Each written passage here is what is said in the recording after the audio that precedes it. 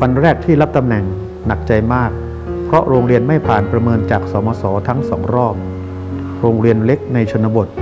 ขาดแคลนทุกด้าน แต่ผมก็อยากให้เด็กๆ ได้รับการศึกษาที่มีคุณภาพ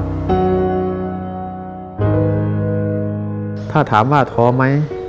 กับปัญหามากมาย ผมไม่ท้อ เพราะการตรวจสอบและประเมินของสมศ ทำให้เห็นปัญหาและเป็นพลังขับเคลื่อนของพวกเรา ขอบคุณสมศที่ช่วยชี้แนะ จนโรงเรียนของเรา กลับมาเป็นความหวังของชุมชนได้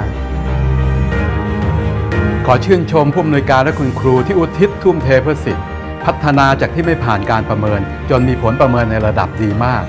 ขอให้สถานศึกษาทุกแห่งทุกระดับนำผลประเมินไปใช้เพื่อยกระดับมาตรฐานคุณภาพ